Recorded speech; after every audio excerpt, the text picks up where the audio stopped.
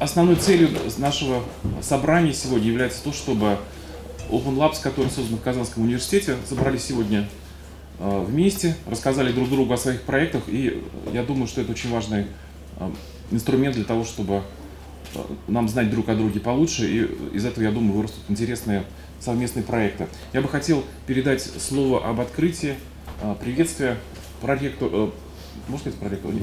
Заместителю директора по науке нашего института биологии и медицины Рашат Скандерович. Уважаемые гости, дорогие коллеги, сегодня один э, из самых э, молодых институтов Казанского федерального университета, но при этом самый э, динамично развивающийся и занимающий лидирующие позиции нашем институ, университете, Институт фундаментальной медицины и биологии, открывает, начинает очередную международную конференцию – а, в первую очередь мне хотелось бы э, поблагодарить за э, участие в этой конференции наших европейских гостей, э, господина Сальватора Янотта, госпожу Лаура Пастарени, господина Виктора Ерохина, госпожу Светлану Ерохину, которые приехали к нам из Италии, чтобы принять участие, будут сегодня выступления их на следующих секционных заседаниях, а также тех гостей, которые э, приехали из других э, городов Российской Федерации.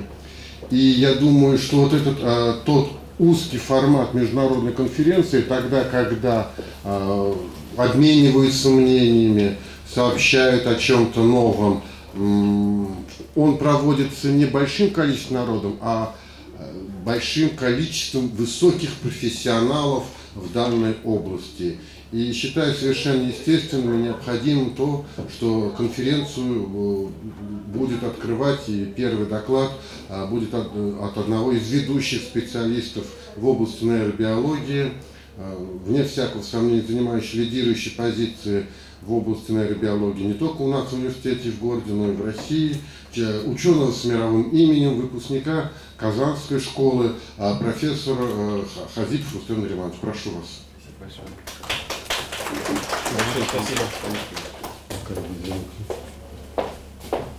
I have to apologize uh, in front of our guests from Italy.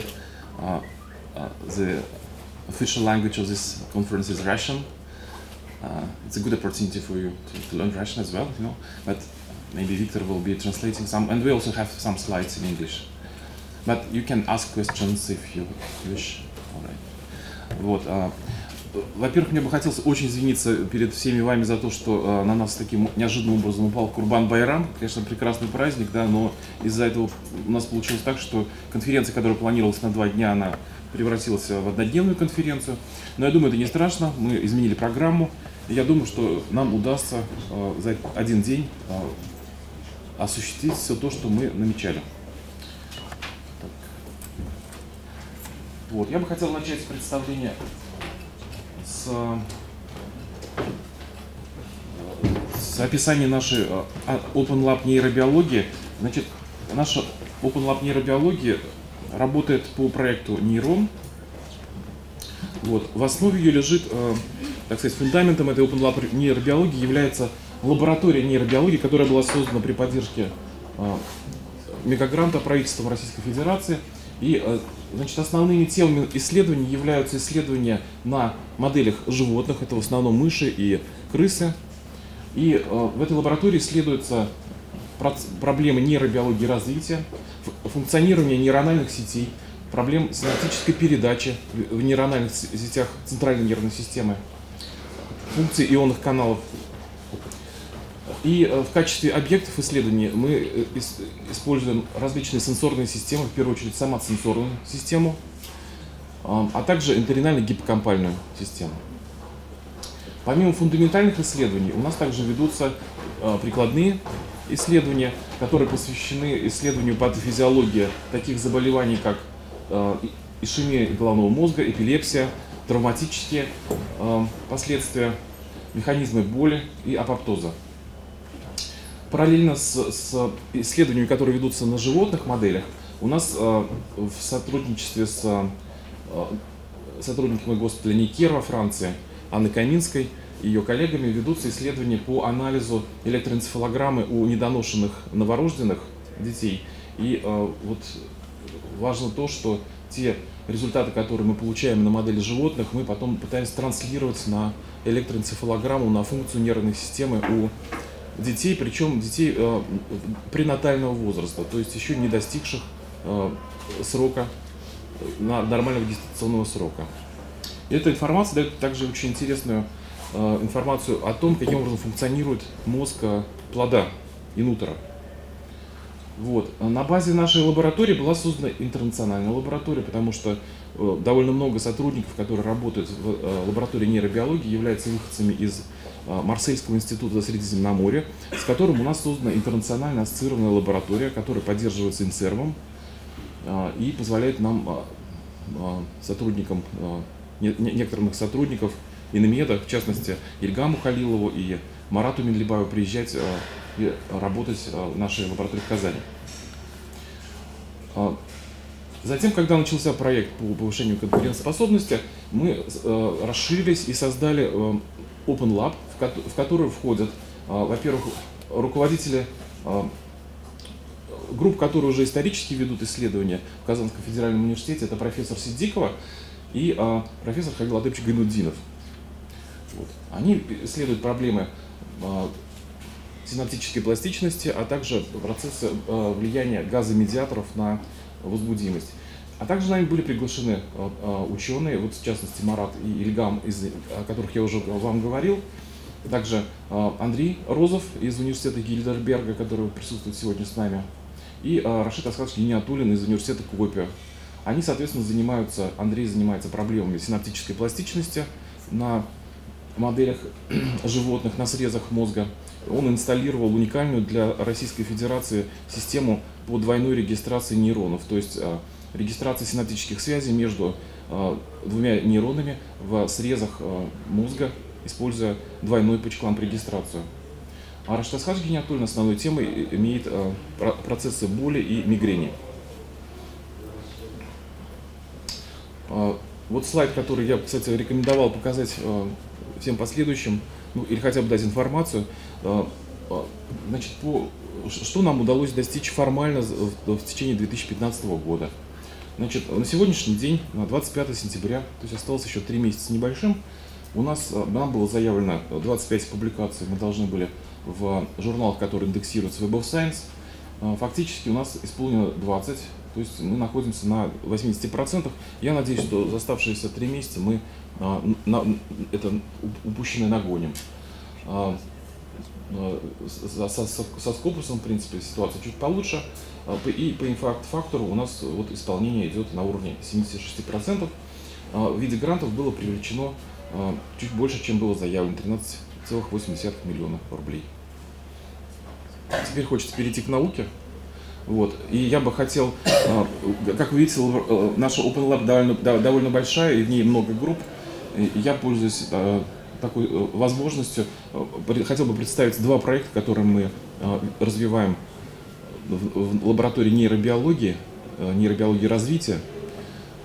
Значит, и вот одна из целей, которую мы ставим перед собой, это понять то, каким образом в процессе развития формируются очень комплексные нейрональные сети в нашем мозге. И, другими словами, каким образом вот это количество нейронов, здесь в 12 степени нейронов, формирует специфические синаптические связи друг с другом для того, чтобы сформировать наш мыслящий, думающий мозг. В значительной степени э, этот процесс в определенной степени закодирован в наших генах, в генах, которые определяют то, каким образом происходит миграция нейронов, э, куда отрастают аксональные отростки, и, и э, существуют различные сигнальные молекулы, которые обеспечивают э, процесс прорастания анатомического формирования сенсорных, э, сенсорных и ассоциативных сетей в центральной нервной системе. Но наряду с этими генетическими механизмами активность, которая экспрессируется на ранних этапах развития, играет не менее важную роль в формировании нашего мозга. То, каким образом активность участвует в формировании нейрональных сетей, и является, в общем-то, одной из центральных задач нашего, наших исследований. В, особенно, в особенности важную роль играют э, ранние паттерны активности во время так называемых критических периодов развития, то есть тех периодов, которые, как правило, происходят на самых ранних этапах развития, во время которых активность критически влияет на нервные сети. Вы прекрасно знаете пример Конрада Лоренца да, с его маленькими утятками, которые э, вот, следуют за ним. Э, это пример филиального импринтинга, семейного импринтинга. То есть эти птенцы родились, вылупились, и первым объектом движущимся, который они видели, был Конрад Лоренц, которого они впоследствии стали воспринимать как своего родителя. Ну, в реальности они воспринимают родителем его сапоги, потому что любой человек, который одевает эти сапоги, становится мамой или папой для них. Вот. Ну, мы исследуем процессы, похожие процессы, но на клеточном э, и синаптическом уровне в различных районах нервной системы. И в частности, вот мы исследуем то, каким образом происходит формирование кортикальных карт в соматосенсорной коре головного мозга на тех сроках развития, которые соответствуют пренатальным. То есть э, мы знаем, что у человека формирование карт происходит во время второй половины беременности, и к рождению у человека эта карта довольно неплохо сформирована. И вот, с одной стороны, я вам говорил о том, что активность принимает очень важную роль в формировании этих карт, но в то же время человеческий детеныш растет в условиях инутера, в условиях практически полной сенсорной депривации. А, это касается, э, в первую очередь, депривации самоценсорной, а, а, депривации зрительной, и в определенной степени аудиторной депривации. И несмотря на это, его органы развиваются очень неплохо. И в результате наших исследований мы показали, что механизмом для активации самосенсорной, зрительной, аудиторной коры на этих этапах развития являются спонтанные паттерны активности, которые экспрессируются в сенсорной периферии, э, в сетчатке в случае зрительной системы, или же э, сенсорного фидбэка, который активируется во время э, миоклонических подергиваний у животных. Вот. И что интересно, это то, что у животных, типа крыс или мышей, те периоды, которые проходят у человека во время гестационного периода, во время второй половины беременности, эти те же самые периоды развития мы имеем у, у крыс во время первых двух недель после рождения. И, грубо говоря, крысенок, который родился, он соответствует примерно середине беременности у человека, по уровню развития его нервной системы. В то же время, если мы сравниваем уровень развития нервной системы у человека во время, э, во время срока, когда э, он положен родиться нормально, то этот период соответствует э, примерно двухнедельному крысенку. Вот. В этот момент происходит э, на 13 день после рождения открываются глазки, и зрительный анализатор начинает работать примерно так же, как у человека на, во время рождения. Поэтому это делает, конечно же, э, крысят очень привлекательной моделью для исследования физиологии и патофизиологии процессов, которые происходят у человека э, пренатально. Вот я бы хотел показать вам пример того, так, вот здесь надо сделать клик. Можно? Прям еще раз, да? Вот вы сейчас увидите э, очень короткое видео того, как ведет себя крысенок 6 дней от роду. Обратите внимание, что глазки у него еще закрыты, э, уши закрыты, он, не слышит и не видит ничего. Вот. А с поведенческой точки зрения он... Нет, все-таки надо нажать, наверное, надо он производит так называемые физиологические миоклонии. Это спонтанные движения, которые генерируются на уровне спинного мозга и запускают э, подергивание конечностей. Вы видите, подергиваются ручки, ножки. Иногда это принимает форму группового подергивания, э, которое называется стартлом. И вот эти движения э, происходят в состоянии так называемого активного сна. Это доминирующее поведенческое состояние крысенка. И за один день крысенок совершает около 100 тысяч таких подер... мелких подергиваний. Так, точно такой же феномен существует и у человека. Инутера, э, ну вот те, у кого э, были дети, в особенности мама, наверное, чувствуют, что ребенок постоянно пинается и что-то с, ним подергивается постоянно. И вот мы считаем, что эти подергивания являются важным инструментом для того, чтобы развивалась сама сенсорная и сенсорimoторная нервная система. Я бы хотел показать проект, Э, который э, я выделяю среди прочих, э, потому что он сделал на 100% в Казани, что очень важно. Мне кажется, это очень существенно для всех наших Open Lab, чтобы проекты, которые мы развиваем, развивались э, на базе Казанской, для того, чтобы мы, создавая нечто научное, еще помимо этого смогли оставить какой-то материальный и человеческий задел в Казанском университете. Так вот, вот этот проект он сделан на 100% в Казани сотрудниками Казанского университета. И вот в этом проекте мы задались вопросом о том, каким образом окружающая крысенка среда, как искусственная, так и натуральная, мы старались приблизиться к наиболее натуральным условиям, влияет на активность в соматосенсорной коре у новорожденных крыс. Вот здесь представлена фотография, которую сделала Динара Ахмедшина, на которой изображен сетап, который мы используем. Мы используем регистрацию от крысят, а, с прикрепленной голова, голова зафиксирована. А, Все это делается, естественно, под наркозом, крысята не чувствуют боли. А, при этом в кору введен микроэлектрод, который представляет из себя 16-канальную силиконовую пробу, которая вводится перпендикулярно к поверхности коры для того, чтобы регистрировать интеркортикальные локальные потенциалы что-то вроде электроэнцефалограммы, но интракортикальной. И плюс к этому регистрировать потенциалы действия нейрон, одиночных нейронов. Вот так вот выглядит примерно крысенок время от времени. Э, его кормят, вот в данный момент его кормят молоком. Причем вы видите, что крысят себя чувствуют э, совершенно замечательно, а для нас это очень удобно, потому что это позволяет нам э, проводить вот эти регистрации, не боясь за то, что наши электроды сломаются или переместятся из одного участка мозга в другой.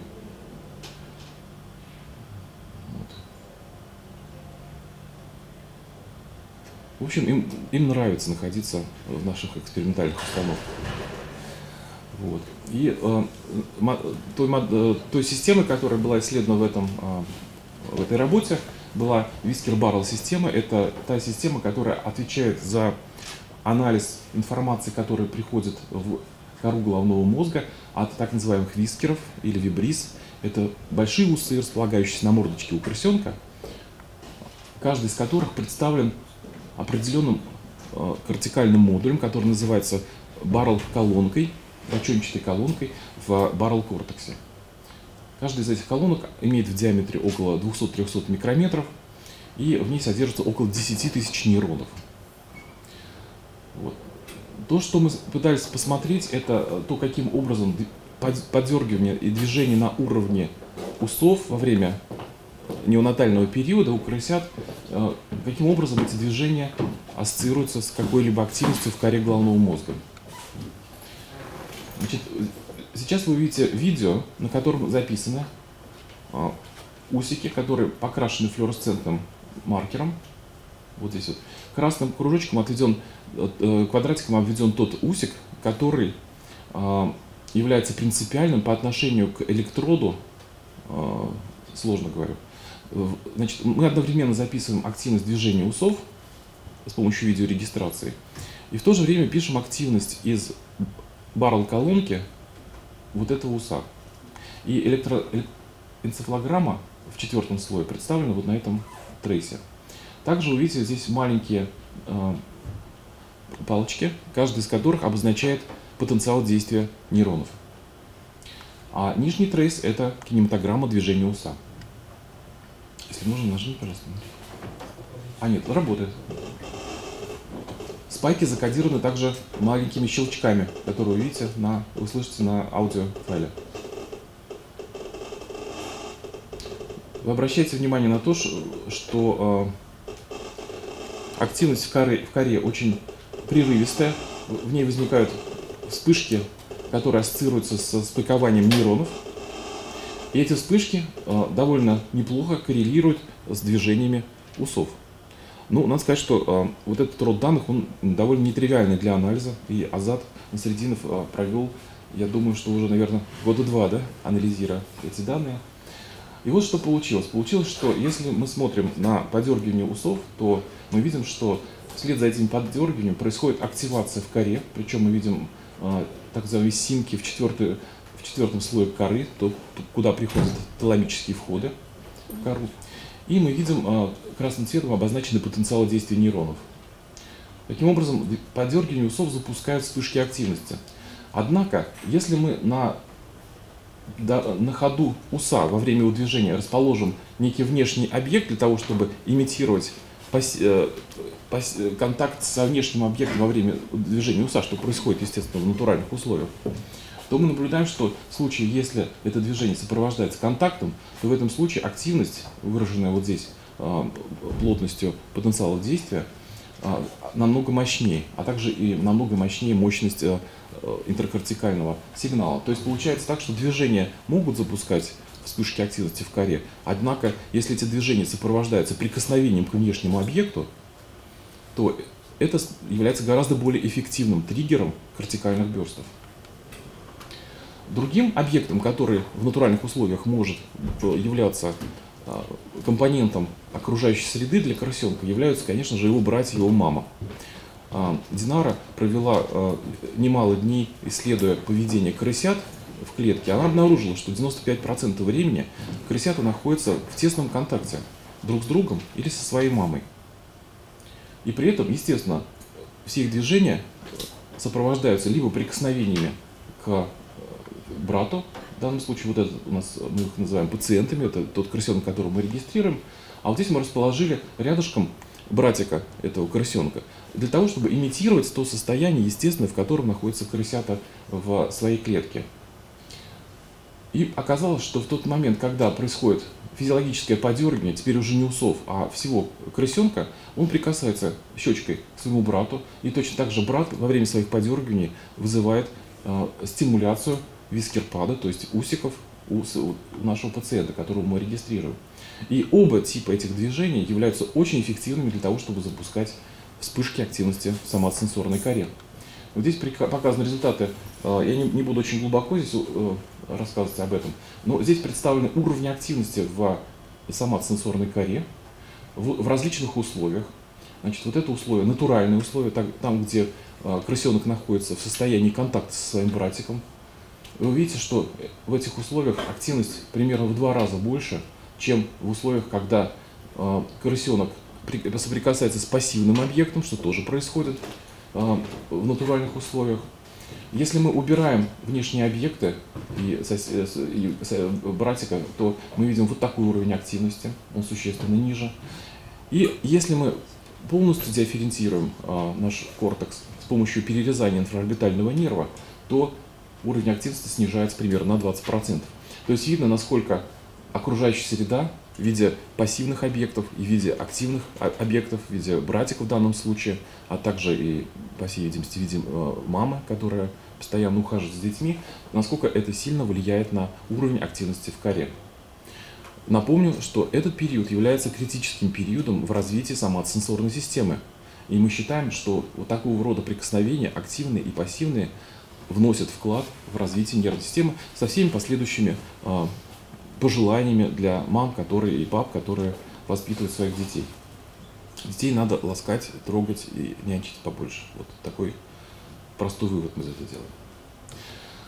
Второй проект, о котором я бы хотел рассказать, это проект, а, который посвящен а, такому трансляционному, что ли, вопросу, вопросу о том, что лежит в основе так называемого фидального алкогольного синдрома не скрою, это большая проблема для нашего общества. А, то, что кое-где у нас порой встречаются дети, которые родились у мам, которые были экспозированы к алкоголю во время беременности. И у этих детей диагностируется фетальный алкогольный синдром. Или же различные варианты его, более мягкие.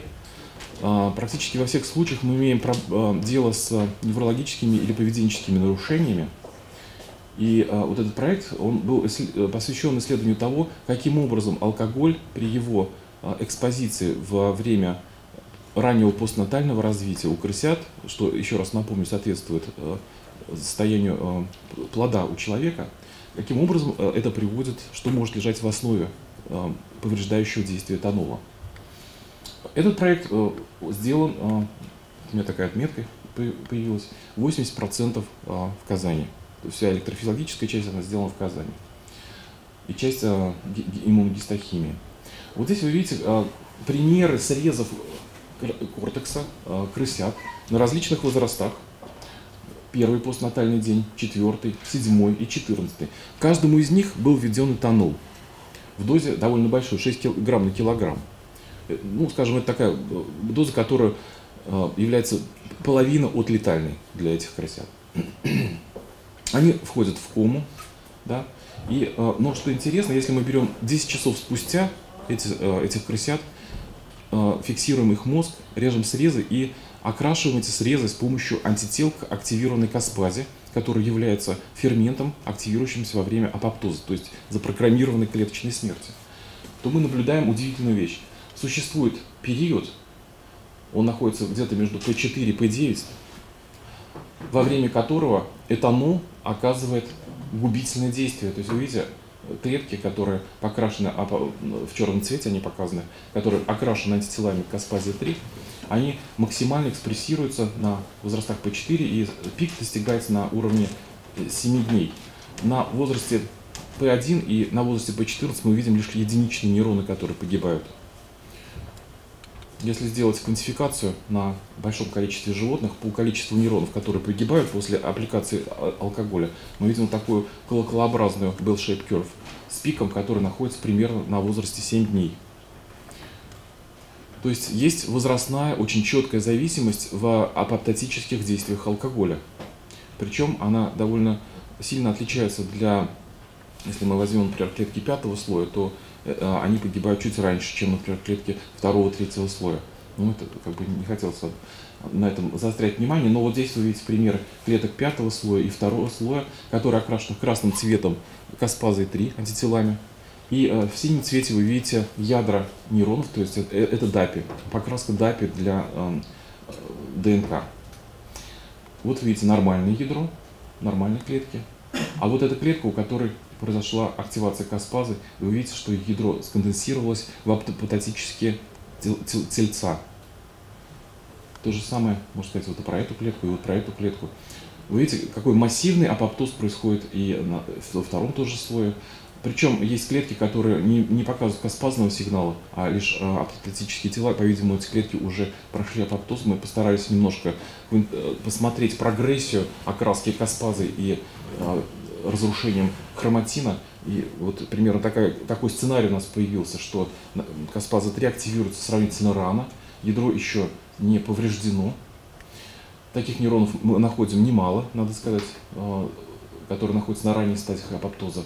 Но затем, что мы видим, что на тех же срезах э, мы видим различные вариации окраски каспазы и, э, и хроматина с неизбежным формированием апоптотических тел. Вплоть до того, что происходит деградация каспазного сигнала, то есть происходит разрушение клеток, и каспаза уходит из цитоплазмы через огромные дыры в мембране, и в результате остается лишь ядра, которые э, сконденсированы в оптически. То есть вот таким образом происходит, собственно говоря, запрограммированная смерть, которая была простимулирована алкоголем. В контрольных срезах мы видим единичные клетки, которые показывают такие э, следы апоптоза. Другим интересным наблюдением было то, что каспазные нейроны, которые подвергаются апоптозу, э, проявляют очень серьезное нарушение на уровне дендритов. Здесь вы видите формирование варикозитей, варикоза дендритов и утончение дендритов.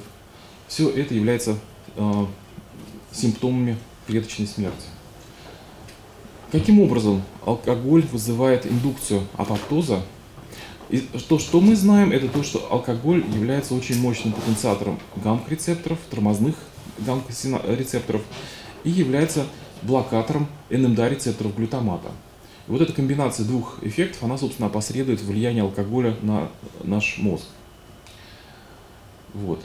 В то же время считается, что ну, э, как бы стимуляция ингибирования и э, подавление возбуждения, оно должно приводить к уменьшению активности. И известно, что апоптоз является процессом, который сильно зависит от активности. И вот анализ активности в барал кортексе у крысят во время этого критического периода чувствительности к апоптозу, здесь показаны данные, полученные на пятидневном крысенке, вот активность контроля, и вот активность после введения этанола. Мы видим практически полное подавление активности коры головного мозга у этого пятидневного крысенка. В то же время, если мы возьмем взрослого, взрослую крысу, 23-дневную, 23-дневную в данном случае, мы видим, что э, здесь тоже происходит изменение в активности, но они, эти, э, мы не видим полного подавления активности, мы видим, что активность урежается, она трансформируется в так называемый дельта-волновой сон с переходами из up в down стейты. Это то, что характерно для глубокого сна, четвертой фазы сна у человека. То есть человек спит, ну, и, скажем так, во время комы, алкоголь, например, то же самое наблюдается. Вот. И сравнивая зависимость апоптоза и подавление активности от возраста, мы видим, что э, существует довольно хорошее перекрывание, что во время критического периода, когда алкоголь оказывает свои нейропоптические эффекты, э, активность мозга очень сильно подавляется алкоголем. И то же самое мы видим по очень мощной корреляции в дозозависимости апоптоза и подавления активности у крысят. И вот на этом я хотел бы закончить свои доклады. А, потому что у меня уже время исчезло. И я хочу поблагодарить, вот здесь, к сожалению, не все представлены игроки нашей казанской команды, вот, но я их хочу поблагодарить за э, огромный вклад в эту работу и э, поблагодарить вас за ваше внимание. Спасибо.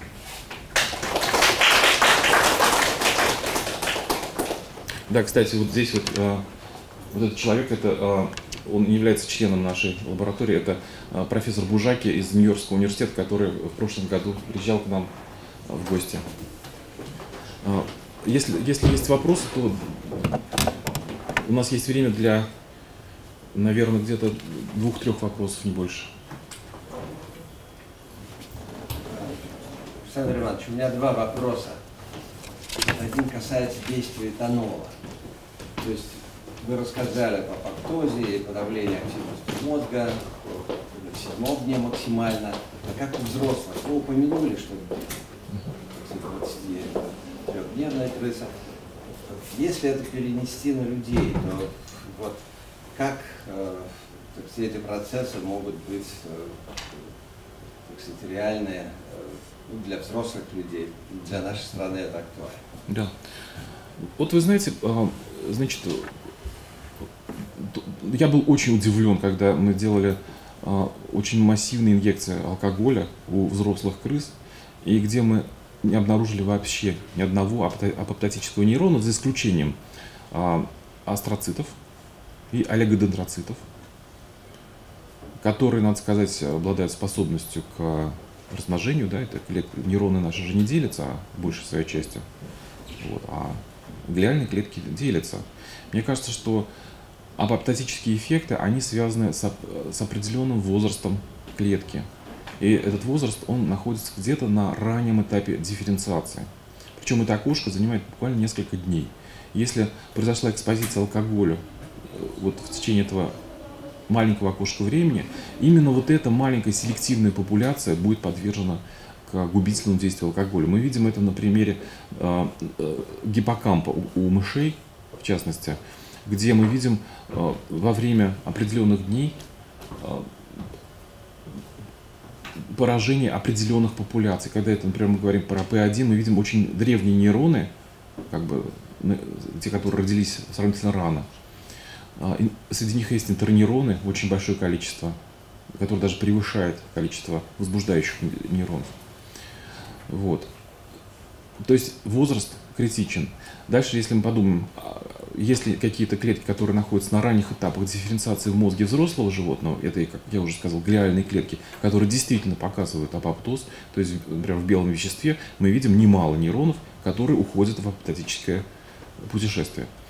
Значит, а, и что еще интересно, это то, что, а, скажем, у крыс, которые, ну, таких адолесцентных крыс, мы видим гибель маленьких нейронов, которые, как мы считаем, являются поздно родившимися интернейронами. Что приведет, к, конечно же, к дефициту торможения. И третья популяция, которая страдает, это популяция, в, есть такая зона мозга, называется фаша дентата, зубчатая фасция. Это одна из структур гиппокампальной формации, которая отвечает за пространственную память и обучение. Вот. В этой области у крыс происходит нейрогенез, формируются новые клетки – И мы видим совершенно четко, что вот у взрослых животных мы видим клетки, которые уходят в апоптоз именно в, во внешней части зубчатой фасции, там, где идет как раз нейрогенез. Насколько у человека происходит нейрогенез в зубчатой фасции, неизвестно. То есть данные противоречивы. И мне кажется, что у, у, взрослых людей а, эффекты алкоголя а, связаны не с гибелью нейронов, ну, если только это там какие-то смертельные дозы да, были употреблены, или же какие-то очень нехорошие примеси были а, в этом алкоголе. Это скорее связано с, с э, эффектами, которые вызывают долговременные, во-первых, долговременные перестройки. Мы знаем, что экспозиция, например, веществам, которые потенцируют ГАБА-рецепторы, приведут к уменьшению в экспрессии и уменьшению функции гамма-кардических рецепторов. И, например, у человека, который длительное время применял алкоголь, на, возникает синдром отмены, да, мы знаем, это Корсаковский психоз и так далее, да. Вот. Это один из прямых объяснений является то, что произошла даун-регуляция тормозных систем, и на выходе из этого э, хронического интоксикации вот этот дефицит выявляется. То есть, по-видимому, все-таки Жванецкий не прав, говоря, что алкоголь в малых дозах безвреден в любых количествах. Да, возможно, возможно. Второй вопрос, Александр Пожалуйста. Вот, э, хотя это касается, конечно, не развивающегося мозга и э, ваши данные, как бы, они говорят э, о развитии нормального мозга, да? но вместе с тем есть же люди, которые, э, у которых нет барьеров между прошлым и будущим. Да? Ну, это вот известный Эдгар Кейси, там, который в позапрошлом веке получил э, удар бейсбольной битой в основании черепа. И после этого у него, э, так сказать, произошло что-то, что потом позволило ему предсказывать будущее. Ванга, например, да, смерч поднял ее на километр, пронес, это тоже в том же возрасте. И у них не было барьеров между прошлым и будущим. Но наши старцы, например, да, православные, которые вот э, дол, э, долгими годами моления э, тоже получают эту способность. В какой части мозга это физически может быть локализовано? И если как бы контролировать этот процесс, то когда это надо начинать, вообще можно ли производить вот таких вот людей, у которых нет барьеров между прошлым Это очень, э, очень непростой вопрос на грани философского, да? А, не смогу вам ответить на него. Нет. Хотя это вообще редко со мной случается, чтобы я не получилось ответить на вопрос. Вот мне подтвердят мои коллеги. Ну, то есть, э, может быть, вы поможете, э, где находятся зоны, отвечающие за экстрасенсорику? Во всяком случае, на курсе нормальной физиологии, Илья Например, не проходим такого. Может быть, на курсе патофизиологической физиологии. Но ведь они э, такие же люди, как мы.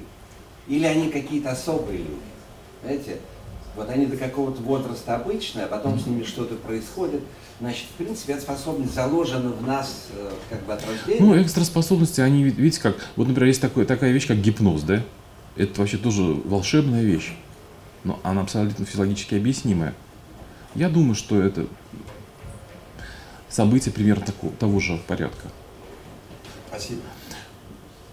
Последний вопрос, пожалуйста, да, Мария.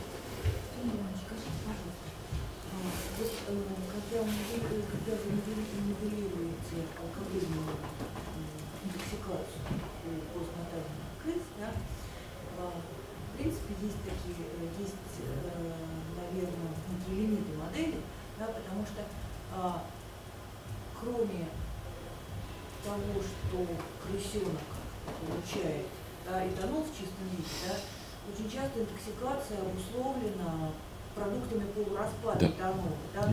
Есть ли какие-то модели, это совершенно не засуждение вашей системы, а просто из любопытства, есть ли э, какие-то модели, которые можно последовать? И второй вопрос короткий тоже.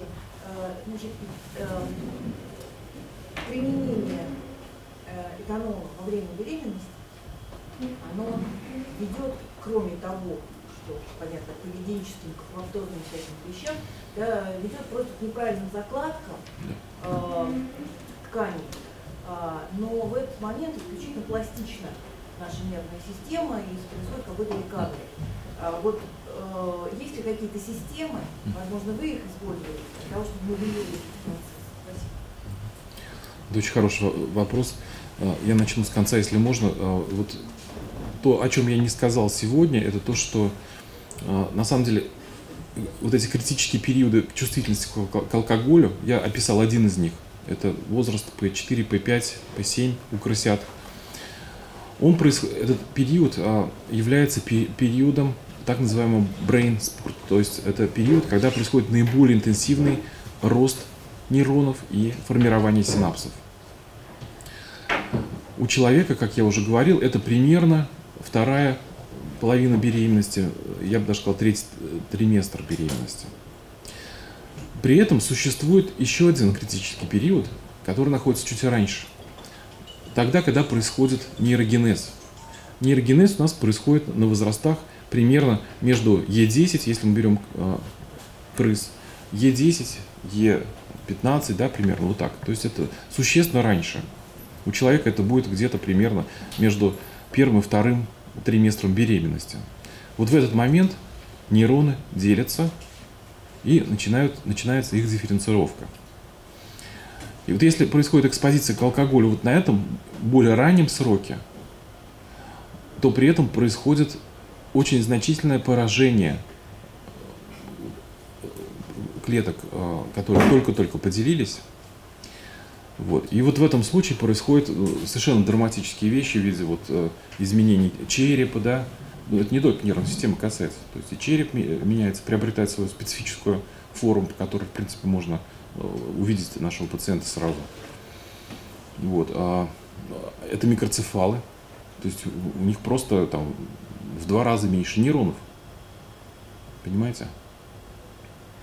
Вот. И вот э, то, что называется фитал алкоголь синдром, это как раз э, описывается большей частью поражения, возникающие вот на этом раннем этапе. То, что происходит чуть позже, то, что я описываю э, вот в этой работе, это происходит чуть позже. И, скажем так, дозы, которые мы применяли, они все-таки эксцессивные, да, это 6 грамм на килограмм. Мы видим апоптозы с меньшими дозами, но он менее выражен. Вот. Но в данном случае тоже происходит гибель нейронов, но не такая массивная, как она происходит вот на более там, раннем периоде. Вот. И компенсации, э, в общем-то, не наступает. То, что вы говорите, что произойдет компенсация, если там половина нейронов погибнет. Вот этого не происходит. То есть дети реально рождаются микроэнцефалами. И, к сожалению, таких детей очень много, на самом деле. Очень много. Вот. По поводу вашего первого вопроса, да, это здорово, отлично, надо, конечно, надо думать. На самом деле, это проект только начало, мы вот его начали, так, хотели немножечко попробовать, а, и, как это всегда бывает, начинаем увязать в этом проекте, потому что появляется очень много разных новых направлений, очень интересных. И вот одно из этих направлений, да. Угу. Все, спасибо большое.